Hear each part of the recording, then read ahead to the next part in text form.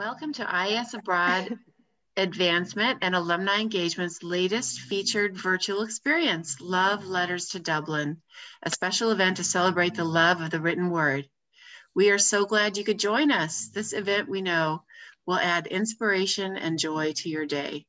It is now my honor to introduce you to Megan Markey, our IES Abroad Dublin Center Director. Megan has long been a very valued leader within the IES Abroad global team. She first joined IES in 2004 to lead the Dublin Center's community-based learning seminar, Service Learning, Youth Engagement, and Education in Ireland.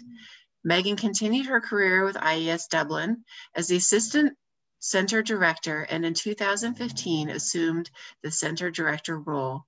Megan earned an MBA in Education Management from the Institute of Education at the University of London and a Master's in Sociology from University College Dublin, where she returned post-graduation to lead classes in quantitative research. Please join me in welcoming Megan Markey. Hello, everyone. Um, I just wanted to start by just saying um, this has been such a joy to work on. Um, a lot of my work at the moment doesn't involve working with students. So just having the opportunity to work with the three students that you'll hear later on has brightened my day. And I hope this session brightens yours. Um, I was going through the list of names as well to see who was going to participate. And boy, it brought back so many wonderful memories of students past um, it's such a pleasure to have you on and of course colleagues from all around the world. So thank you so much for joining us. Um, I've been given the job to introduce our writer, senior writers Pro program coordinator, Stephen McMahon. And Stephen, um, the task feels to me a little bit redundant because it seems like everywhere I go and everyone I speak to either knows or at least has heard of Stephen. This is no joke. I've been at you know universities in the Midwest, and I'll be presenting to a group of students who might be coming to Dublin in the in the next semesters. And they're, they'll come up to me like, oh, we can't wait to come to Dublin. I'm like, I know the theater, the social life. I'm like, no, no, no, no. Stephen McMahon, I've heard all about him from my friends. Or I'll be sitting in an academic coordinated uh, academic department meeting in Chicago, and one of the senior staff might lean over to me and they'll say, I heard you about this fantastic faculty member you have, Stephen McMahon. So I think it's kind of funny that I'm introducing you to, to him to you today because if anyone knows anything about Irish culture, is that we're really bad at receiving compliments and we certainly would never boast. So uh, he's gonna hate me for this. But we're gonna go through some technical stuff first. He graduated with a BA in Humanities from DCU. And there he was nominated for the Millennium Scholar Award. He then did a master's in art and creative writing up in Queen's University in Belfast. Uh, in 2015, he completed a post-grad diploma in education studies at Trinity University.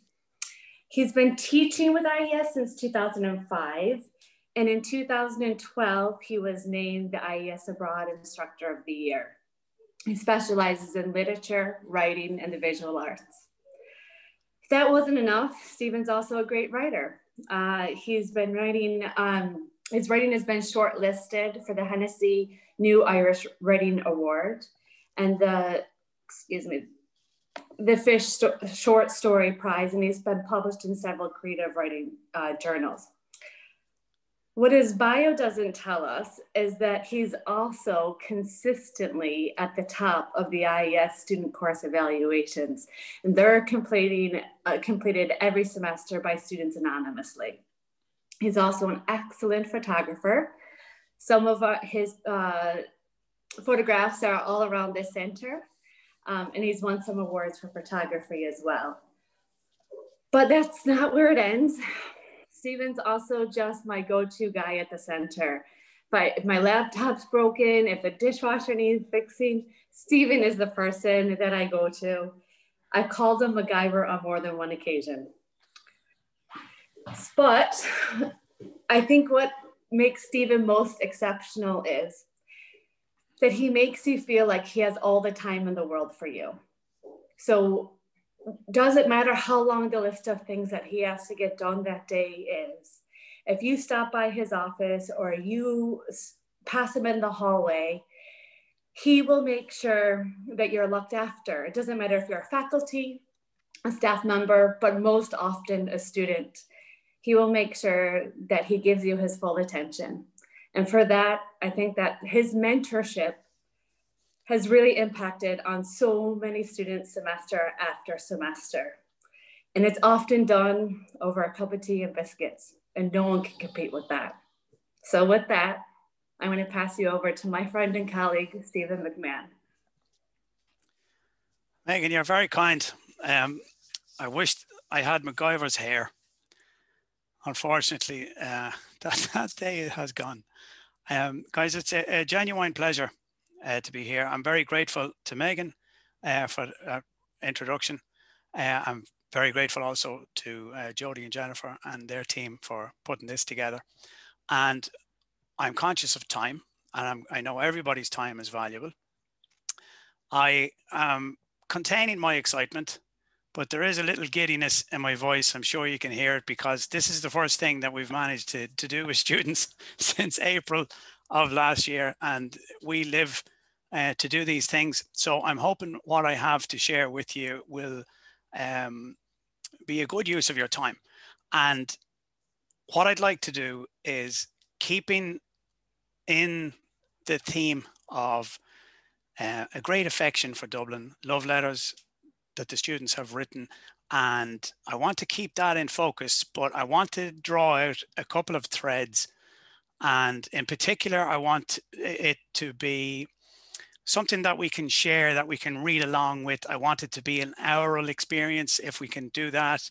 Uh, so by all means, since you're all muted, um, read along out loud hear the what we have to what i want to share with you hear yourself saying it if you wouldn't mind and just to um to give you a sense of what's uh, on the cards for the next 25 minutes we're going to do, basically do a tasting platter um, mary uh, very grateful that you're here also former uh, president of uh, IES abroad and you mentioned in a conversation before we started that you had a chocolate tasting uh, uh, party, so to speak. I'm hoping that this will be just like that, except it will be a kind of a, a, literary picnic, I suppose. Let's go with that. And what I want to start, I'm going to share my screen um, to get that started. And share screen is the green button on the bottom. And I'll share that and allow, oh, it's going to be a little bit fussy. Bear with me, guys. Zoom is going to let me do that. I do hope.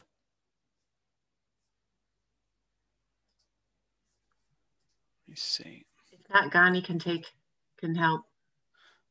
Thank you, Jody. Yeah, I'm, I'm, I'm going to give it just 10 seconds. Okay. Um, because it's something to do with system preferences and it's coming up on screen now and I'm going to allow that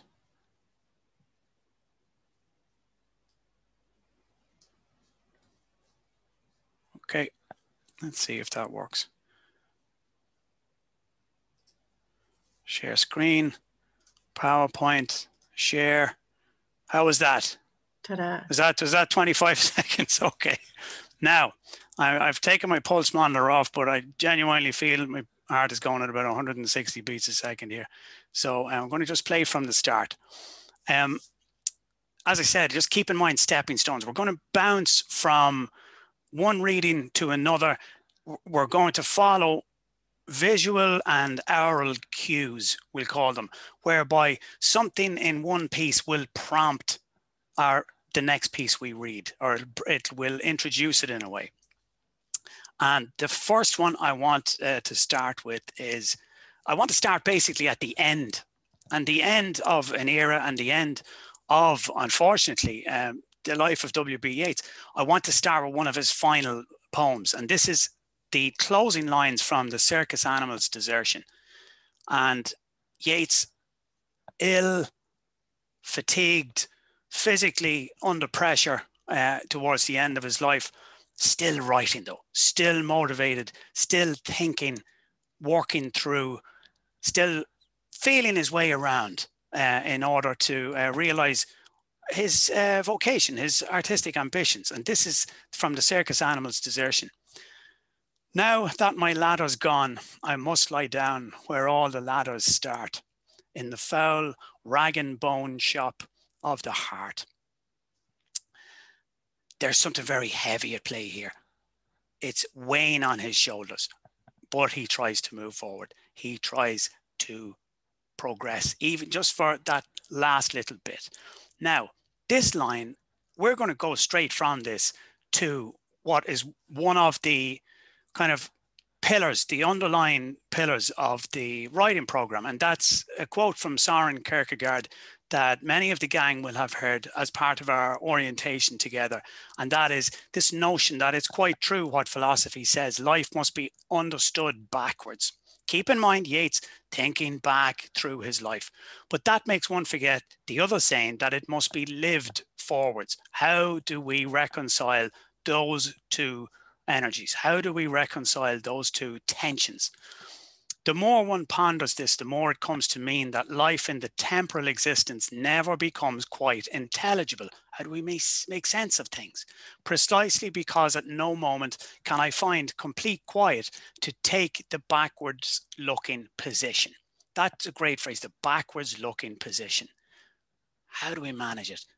Frank O'Connor, writer, philosopher in his own way, uh, certainly a great critic of uh, literary forms, he had this great conviction that it's everywhere in Irish literature, this looking back, looking back through time.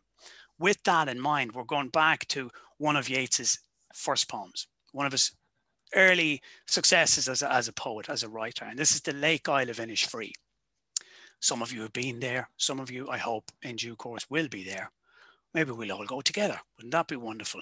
In another lifetime, perhaps. The Lake Isle of Innisfree. I will arise and go now and go to Innisfree, and a small cabin build there of clay and wattles made. Nine bean rows will I have there, and a hive for the honey bee, and live alone in the bee loud glade. And I shall have some peace there, for peace comes dropping slow dropping from the vales of the morning to where the cricket sings. There midnight's all a glimmer, and noon a purple glow, and evening full of the linnet's wings. I will arise and go now, for always night and day I hear lake water lapping with low sounds by the shore. While I stand on the roadway or on the pavements grey, I hear it in the deep heart's core. It's an obvious choice for an early Yeats poem, but I have a very specific reason for choosing it. And I hope that will become apparent. And I'm hoping that the value of what we look at will maybe stay with you because what we're looking for here are resonances. We're looking for these um, kind of aural stimuli to carry forward and to maybe become something in their own right. So keeping in mind some of the primary sounds of this poem, the honeybee, the peace he seeks, and the linnet's wings, the sound of bird flight, the sound of lake water lapping. Keep those foremost in your mind. And let's see where we can uh, travel with this. Now, next. Yes. Yeats, that came poem, that poem came to Yeats while he was in London. John, we're going back to London before the end, I promise. But while he was in London, standing on the pavements grey, as he says, this poem began. The kernel of it came to him. He saw some water in a window, a fountain, a small display advertising something or other, and immediately his uh, imagination was catapulted across the sea through space and time to this beautiful space um, that was dear to him, a place where he spent many a day as a child and as a younger man. And him, this notion of being in two places at the same time, this notion of being able to transport ourselves emotionally, psychologically, imaginatively from one space to another, to be somewhere and yet have call to mind somewhere else, and for it to be a, a vivid uh, experience. to evoke is the best phrase I can come up with. This is an extract from a novel by Kate O'Brien uh, called The Land of Spices. And in this moment in the novel, Reverend Mother, one of the uh, characters we meet early on in the story, uh, stood apart by the side table in um, a, a, house. Our memory had taken a curiously desolate plunge across many years. So she steps away from what is happening in the room with the other people and has this moment of I suppose she goes into herself, is the best way to describe it. But now, as those deft Irish voices flowed together, forgetting her, she forgot them. She was momentarily a ghost where she stood, and a ghost also where her memory revisited, divided within herself as lately she too often was. There's that tension.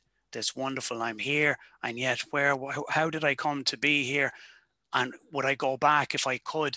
there's this wonderful tension at play. Let's try and keep that ball in the air, so to speak. And I go straight from that to Astral Weeks by Van Morrison. A little bit of music, not too much, just peppered a little bit with music. And this is uh, just some of the lyrics from uh, the song Astral Weeks from the album Astral Weeks. And anyone on the Writers Program, I will have bored you with Astral Weeks at some point. But uh, it's a beautiful um, it's just, just beautiful. That's the best way to describe it. If I ventured in the slipstream between the viaducts of your dream, where immobile steel rims crack and the ditch in the back roads stop, could you find me? Would you kiss in my eyes to lay me down in silence easy to be born again?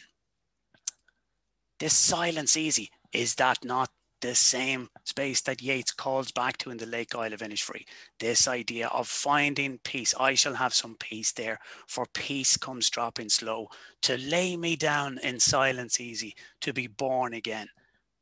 We're going to stick with Van Morrison for a moment, but we're going to look or have a listen maybe to Van Morrison through uh, what Gerald Dawe had to say about him. Gerald Dawe being another Northern Irish poet and also the author of a beautiful book, which is my first book recommendation I want to make to you, if uh, if I can do that in this context. It's a book called In Another World, and it's uh, Van Morrison and Belfast. Gerald Dawe himself, a poet. We realized we weren't singers, we weren't musicians, but we could move into other art forms. In that sense, Van Morrison opened the door for myself and other young men and women to think that work wasn't the only way forward that there was a different kind of work and you could do it on stage or with a pen. Now, I include this at this point because this album, Astral Weeks, and Van Morrison's profile and his presence in the world after the release of Astral Weeks, this transformed uh, Gerald Dawe's relationship uh, with uh, music and with himself. He started to believe that he could do something that uh, maybe goes beyond just cleaning windows, as Van Morrison did uh, at one time in his life. This is the idea of having time to write, of making time to write, and believing that writing is something that's worthwhile. And that's, again, a kind of a it's a, a, supporting pillar of the writers program that notion of taking time out of mind to dedicate yourselves to writing and to make the time every day to write. And we go after that all the time. It's a something we start off with and we touch back again, back to the rough ground, so to speak, back to the basic principles. What can you achieve in this four month period of study abroad? What can we do as your guides of sorts uh, during that time to, so that we get we can support you and help you to get the best out of things and with writing sharing books giving the opportunity to share work building momentum in that way people being together with a shared purpose with a common purpose. I want to go from that to this deep heart's core that yeats talks about. And this is a poem again apologies to um, writers program, former writers program students. This is a poem I will definitely have shared with you. And it's a poem by Heaney, Seamus Heaney called The Forge. I'll read it and then just tease out one or two threads. All I know is a door into the dark. Outside, old axles and iron hoops rusting. Inside, the hammered anvil's short pitched ring, the unpredictable fantail of sparks, or hiss when a new shoe toughens in water. The anvil must be somewhere in the center, horned as a unicorn, at one end square, set there immovable, an altar where he expends himself in shape and music. The rhythms of poetry, the craft of shaping words, giving them a symmetry, giving them a shape that results in somebody being able to do that with words. And Heaney is calling to mind the practices of a blacksmith. Now, this forge, Heaney never crossed the door for five years. I was listening to a podcast earlier in which he's interviewed about this process and this strange world of the forge. You know, what happens in there? He saw flashes, he saw the blacksmith standing at the doorway. It took five years for Heaney to cross the door and uh, to enter this space. And it's it's there in the poem. He says, All I know is a door into the dark. What is beyond? You know, and the this is everywhere in Heaney's work. This notion of there being another world beyond the immediate one, and this can be either digging down through uh, the, the physical landscape, using that as an analogy for the endless possibilities of poetry. Expanding himself in shape and music, the rhythms of work present again, the rhythms of writing present again. Now, with that notion of red hot metal being shaped, the the glow, the white hot glow of a piece of steel that has been heated and is being beaten into a particular shape, be it a horseshoe or be it a rose, which can often be the case. I want to look at um, a, a, short poem or an extract from a poem by um, Derek Mahon. Now, very sadly, Derek Mahon passed away last year. And I want to acknowledge that as I will do with other writers as we proceed. This is stanza two from Tacitus. Tacitus being a, um, a writer in the, in the Roman era, a, a great master of Latin. So language starts to, to, to bubble up. The world, though, is also so much more. Everything that is the case imaginatively Tacitus believed mariners could hear the sun sinking into the Western Sea, and who would question that titanic roar, the steam rising wherever the edge may be. It's an extraordinary image, this notion of that you could hear the sun sinking into the Western Sea as if it indeed is making contact with the water. And it's mythical and it's it's kind of majestic as well. But I want to just carry the white hot heart's core of Yeats's Lake Isle of Innisfree and through the work of Heaney, the shaping of white hot metal to this white hot sun sinking into the uh, Western Sea. Where might we go from there? Well, it's to a longer poem, but in the interest of brevity, I'm just going to include the last stanza. This is a poem by Paula Meehan called The Statue of the Virgin at Granard Speaks. It's an incredibly powerful piece. I do encourage you to read it in its entirety uh, in your own time. But here's this image again. Here's the sun called upon again to serve as a metaphor of sorts, to serve as an analogy in the closing stanza of the statue of the Virgin at Granard speaks, O sun, center of our foolish dance, burning heart of stone, molten mother of us all, hear me and have pity. It's a prayer, it's an incantation of sorts. And in the context of the poem, it has a particular poignancy because it's a pagan prayer of sorts. So there's this wonderful tension again that's at play keeping on the theme of love and in particular jumping off from Paula Meehan's reference of as the sun, uh, as the molten mother of us all. This is a short extract from Three Stories About Love, which is a, a triptych by um, Anne Enright. Elaine dreamt that the baby could speak. She dreamt that the baby was, in fact, talking to her, hugely and at length, endless sentences full of big words and all in a voice that expressive and sweet. The baby was actually very interesting. Dreams, the dreamlike state of Yeats in his in his you know moment absent moment on the the sidewalk on on the footpaths in london that strange moment that heaney is as he walks along to go to the bus stop passing the forge he wonders what's in there. There's a dreamlike state at play. And we again talk about this during uh, the introduction to our writers program and again in classes. The value of dreams and the writing down of dreams.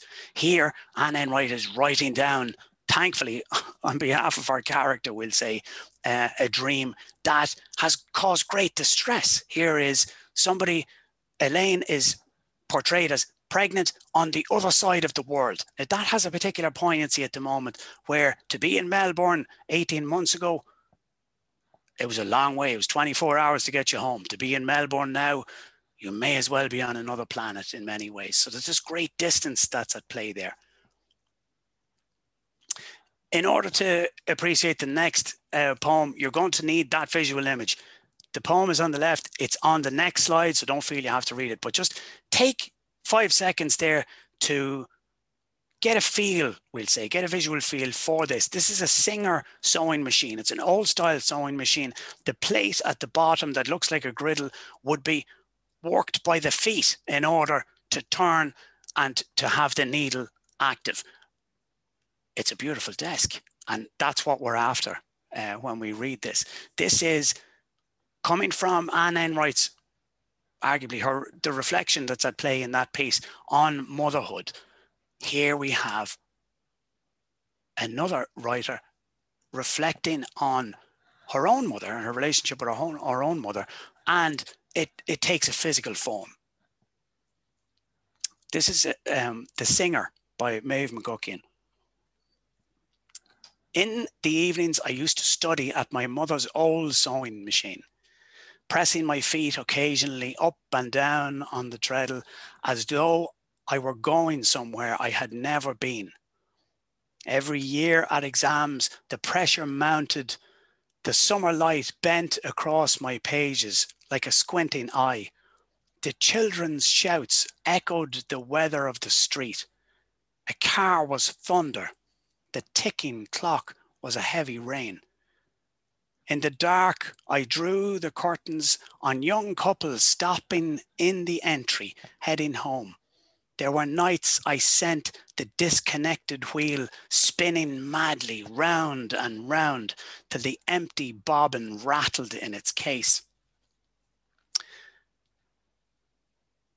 Simplest of things.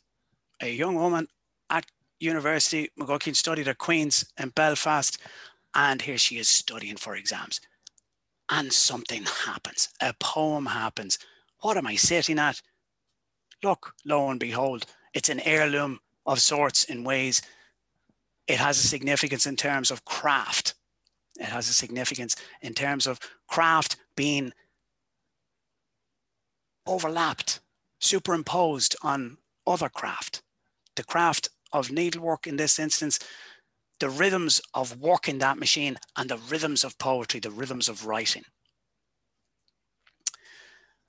We're going on a journey now. We, we have talked about the home place in the last uh, two poems and in the last two pieces. Anne Enright's character Elaine is longing to be at home, sitting in the cafe in Grafton Street.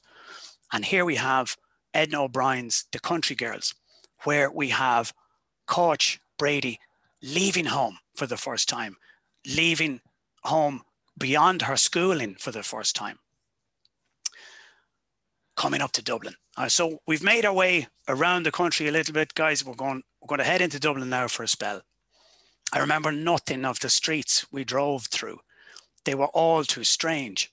At six, the bells rang out from some church, which were followed by other bells with other chimes ringing from churches all over the city. The peals of the bells mingled together and were in keeping with the fresh spring evening, and there was a special comfort in their toll. I liked them already. A good omen, Coach Edna O'Brien presenting her characters here in Dublin for the first time. And it's church bells. Church bells having a significance, a celebration of sorts. Also, you could, we can read into it slightly very quickly this notion of bells ringing during a wedding, the notion of bells tolling during a funeral. So there's this tension. How will life work out? Caught in Dublin with Baba, her best pal, and the, the adventures ahead of them in their late teens. The sound of Dublin, I want to stay with that momentarily. And something has happened. Forgive me. We're back. I want to look at The Butcher Boy by Patrick McCabe. Francie Brady, Coach Brady, Francie Brady, not related, but having the same experience in this instance, arriving in Dublin. Bicycles going by in dozens, tick, tick, tick. Where were they all going? If they were all going to work, there was a lot of jobs in Dublin. It was eight o'clock in the morning. There was picture houses and everything. And Francie, in his high energy of having run away from home, Dublin is now a playground for him. But this is the thing we read, and our students, they do this, and we don't even need to prompt it. The oral experience of reading something like this. Hang on a second, this reminds me of something else. So we just follow that really quickly. Bicycles going by in dozens, tick, tick, tick the free wheel at the back, the old Sturmey-Archer free wheel that made that very clear sound. Well, where have we heard that before? Here's Heaney's a constable calls, a policeman, a constable arriving at his family home. Heaney, as a, as a young boy, the policeman parks his bike. His bicycle stood at the windowsill. Opening line of the poem later in the poem. A shadow bobbed in the window. He was snapping the carrier spring over the ledger. His boot pushed off, and the bicycle ticked, ticked, ticked. There's that rhythm again. There it is. Where? What is it doing there? Well, it's interesting because I'll pitch it this way. I think it came from the same source, and that source is a writer that Heaney admired greatly, and that Patrick McCabe lived in close proximity to, and that is Patrick Kavanagh. Inniskeen Road, July evening. This is the octet of this particular sonnet. The bicycles go by in twos and threes. There's a dance in Billy Brennan's barn tonight. And there's the half talk code of mysteries and the wink and elbow language of delight. Half past eight, and there is not a spot upon a mile of road no shadow thrown that might turn out a man or woman, not a footfall tapping secrecies of stone. Kavanagh is at a remove. He's at a distance from all of this. He's observing. He's seeing. There's a lament at play here. He's not part of this. In the in the language of of uh, a painful case by James Joyce, he has been excluded from life's feast. But there's that sound again the bicycles going by in twos and threes, that sound of bicycles passing. The dance in Billy Brennan's barn. This is Céilí by Ciaran Carson. Céilí it takes its origins in uh, the Irish language and it comes, arguably comes from le céile, which is a phrase that basically we can read it in different ways and it has different meanings in different contexts, but it's about companionship. And in this instance, a Céilí is a coming together for the purposes of music and dance, a party, essentially. In my grandmother's generation, um, to go on your Céilí would be to go visiting with friends, to go sit and drink tea, call round, walk on to the next person's house, and the momentum of that would carry you through the night. This is just a short snippet from Carson's uh, Céilí. And also just to acknowledge, uh, Ciaran Carson passed away sadly in 2019, but his body of work is extraordinary. And uh, in particular, his last collection is, it's, it's just the most wonderful uh, reading. If there was a house with three girls in it, it only took three boys to make a dance. You would see a glimmer where McKeown's once was and follow it till it became a house. There might be courting going on outside, whisperings and cacklings in the barnyard, a spider thread of gold thin syrup trailed out across the glowing kitchen tiles into the night of promises and broken promises. It's an incredibly oral experience. The laughter, the echoes in the barnyard, the music were there. And this is our imaginations will carry us into this. And this is where we can find wonderful things as readers, but also as writers, where we find ourselves in a piece as we're working on it. We know that this is actually going well, this is going places. A quick reflection from uh, Paula Meehan on poetry before we clip on to the final few slides. poetry is not sociology, poetry is not history, it's not the sum of the lore and logic it contained. Interesting though these things might be, poetry is a way of telling the truth about what it is to be human, a product of the human imagination and a sovereign condition unto itself, coded in measures that are close kin to music and dance. The rhythms again, an oral experience, reading and arguably writing as being an oral experience.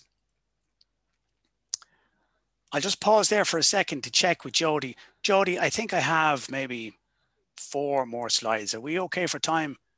Yeah, I think we're fine. Tremendous. Thank you very much. Mm-hmm. I'll keep uh, I'll I'll keep the uh, the pace high. I want to include this particular piece because I, I've read this over and over and over, and I've never come across anything like it before. This is uh, a the opening lines of a short story by the weight of my called the weight of my words by maura t. Robinson. And just to acknowledge maura has been the most wonderful friend to the writers program has come in as a guest speaker uh, over the last couple of years and has done so with great enthusiasm. She's the students love her company. Bernadette was good with words but not with numbers Numbers were red, angry, blurred things. Words had different colors, textures, smells. Some words were musical notes on a scale the word sunshine was a G. The word wait was a B, but only if called after someone and carried on the breeze.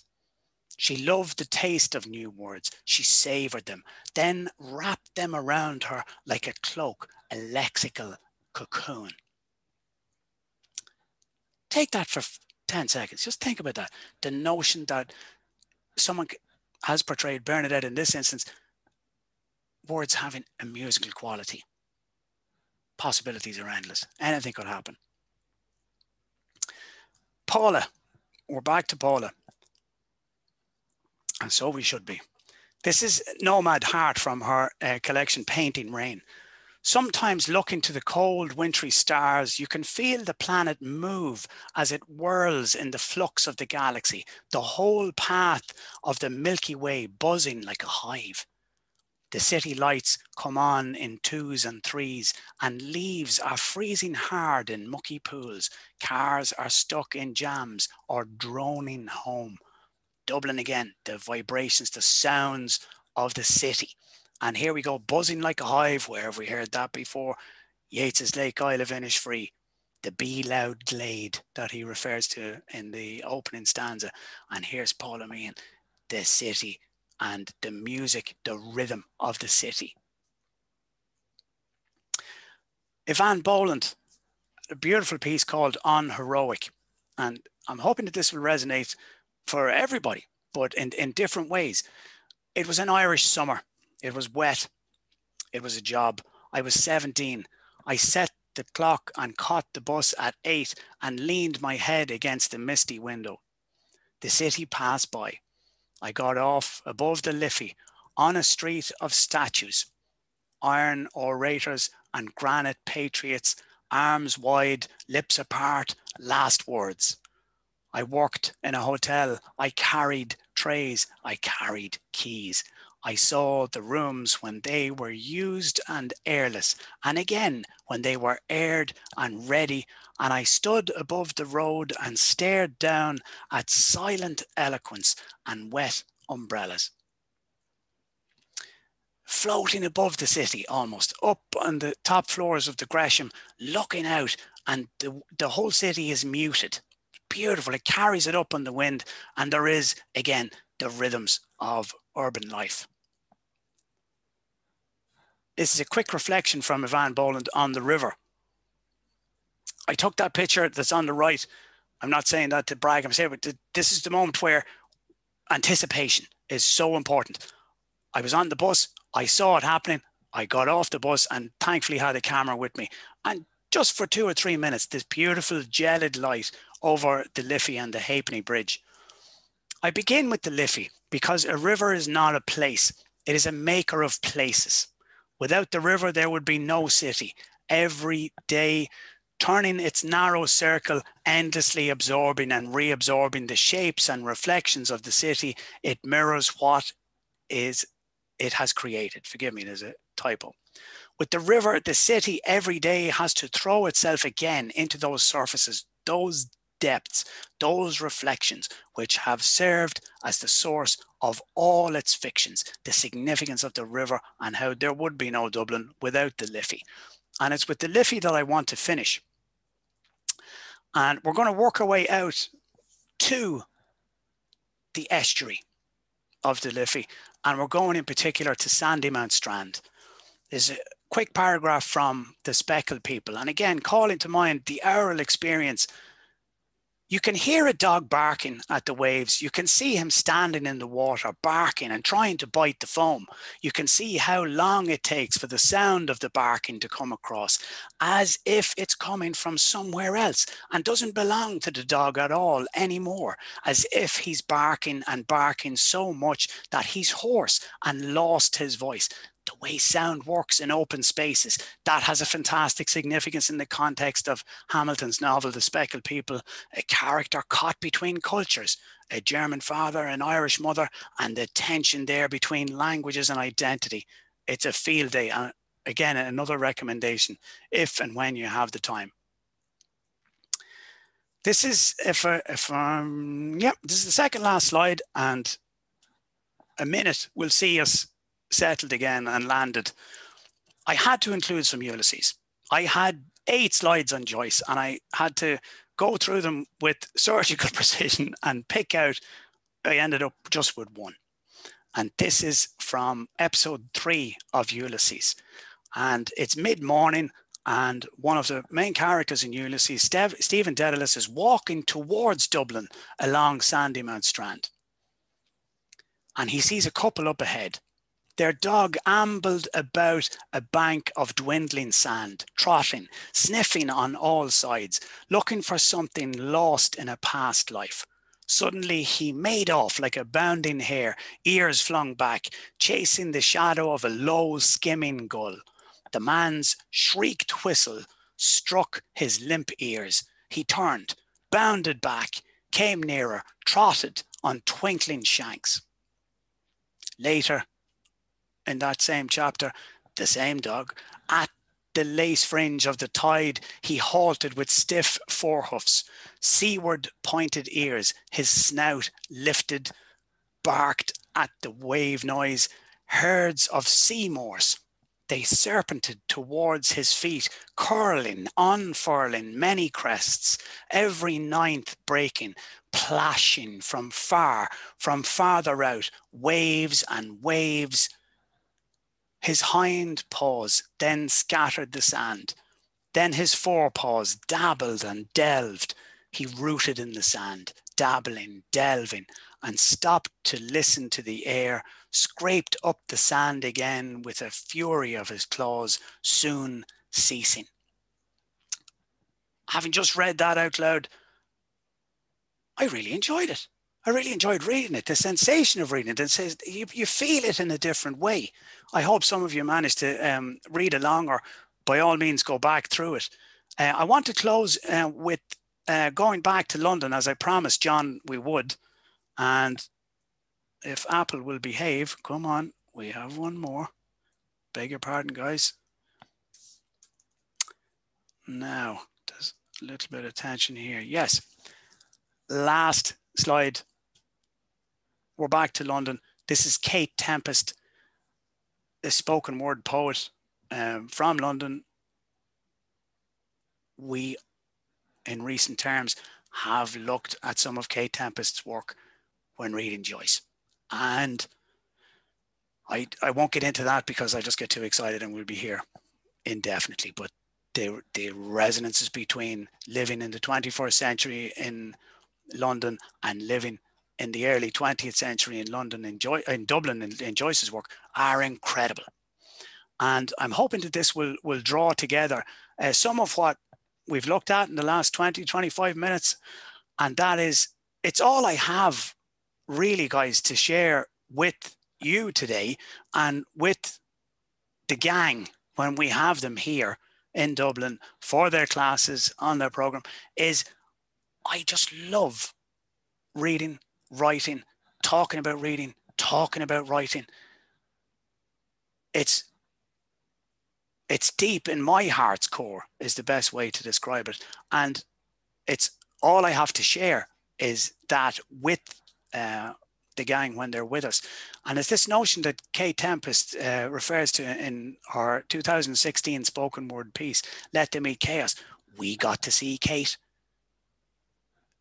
two years ago and some of the gang hopefully tuned in today were at that and we floated on I certainly floated on air for weeks after that. And I've had messages from people subsequently to say it just came back to me that we managed to see Kate Tempest in Dublin after having read her in class. It was it was wonderful. We die so others can be born. We age so others can be young. The point of life is live, love if you can, then pass it on. And in the context of why we're here today, this notion of former IES students encouraging future IES students, supporting them, loaning them books, giving them the bus fare to get from Dublin to Donegal. That's sharing. That's something I think that, yeah, I, would be very proud to be part of that. And uh, hopefully that we will see uh, the sunshine again, and we look forward to welcoming whoever whoever feels like coming over, and that come back, all of you come back over. But uh, I just want to close on on that notion, that idea of live, love, and if you can, uh, pass it on. Thanks for your patience, guys, and apologies to Jody. We definitely I owe you five minutes, and we'll find some way to balance that out. So now we get to hear from the students, is that right? The recorded? Do you want to introduce? Okay. I can, can certainly do that. Um, Alison, Ally, Zach, and, and Priya, um, I think that what I can say that will do justice um, to their efforts in this context is um, there's an extraordinary integrity at play with all three of uh, the gang. And it came across in their writing when they were here with us. Uh, it came across in conversation when they were here with us. And it comes across in what they have to share. I don't want to draw out anybody in, particular, but what I can say is that thinking of them as individuals, I can do that. I can think of them as a collective as well. And this goes back to what Megan opened with. It broke our hearts to, to see you all leave in March and to leave so quickly. But I can say with 100% certainty, and I can say this without any disservice to uh, previous groups, and that is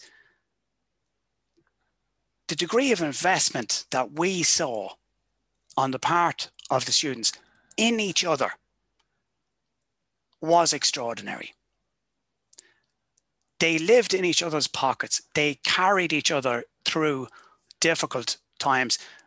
I had obviously many conversations with each student in different contexts, but more often than not, a cluster would come in to the to the room in the center and be like, Stephen, we ha- we have a question, and there was that wonderful sense of momentum that um, together they were making things happen. They were interested in things. They were going places, and they they needed us occasionally. They needed us just to realize this little ambition, that little ambition. They needed a second opinion on that, a second opinion on that, spare pair of socks, whatever, directions for lunch, whatever.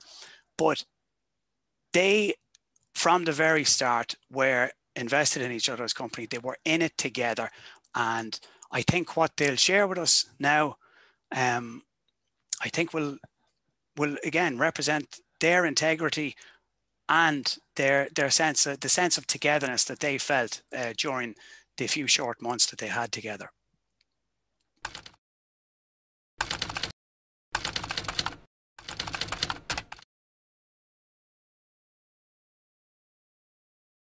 Not at first sound like a love letter, but I promise it is. Um, it's entitled Love Letters Arrive via Rain Post. Of Dublin, what do I recall? I draw a shawl around my cold shoulders and remember the wind at the intersection. I, stuck in the storm, wavering, the rain threatening to overrun the gun of the sun, as I ran back and back to the place that had become a home, to a warm shower where I would drop everything and jump in, wet mittens like soggy kittens that wouldn't dry for weeks after that day. The day I walked to the Hugh Lane in a storm, to sit with the middle aged and old, I am told, that go to such Sunday musical events where I sat and wandered in mind, warming with a brisk walk through the idea land where I could go in and out with the music. And later downstairs, I had a veggie Irish breakfast served on a wooden cutting board. Then I ran home in the pouring rain, ran and ran and ran, and maybe this was a moment of pain, but it begs the memory too of the other, other unexpected music, of the music sampler, where the band with the screaming and the leaning and fans who loved with all their hearts, the kind of occasion the world or the kind of obsession the world so tries to drive out of our little souls.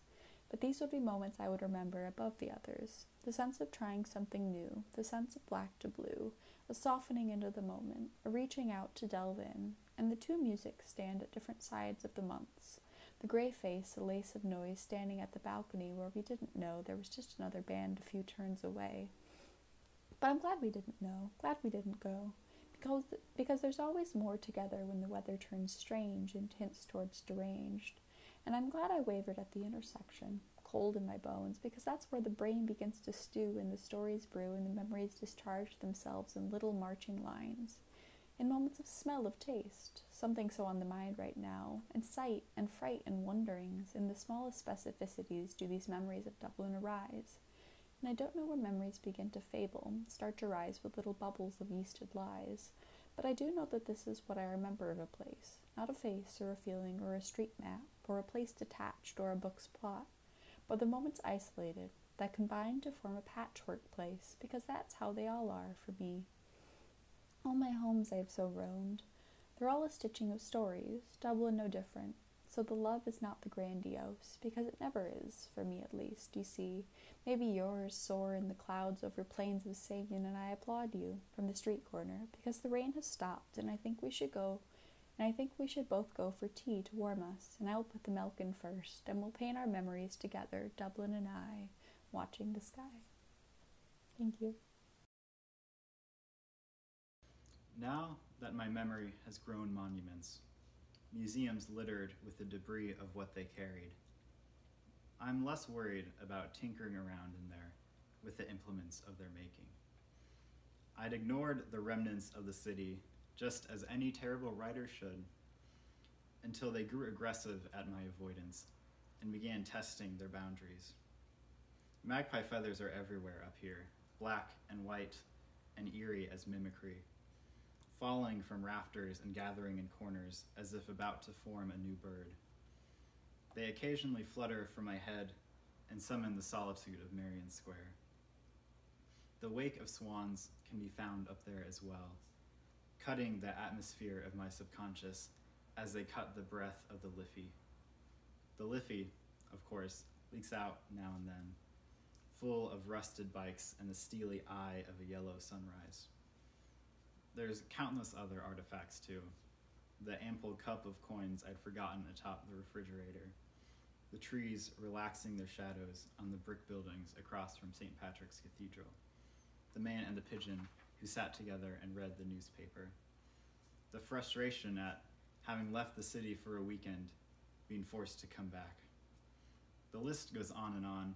The box I put Dublin in is, I suspect, much like the world Noah hid from in his ark, shaking with vortexes and swells, and shaking with ghosts. When I excavate those memories, they come out of the bogs like a great Irish elk, as if still alive. I find something in their bones, like a sustained note of music, the kind compelling you to hold a thought in your mind until it becomes unutterably profound.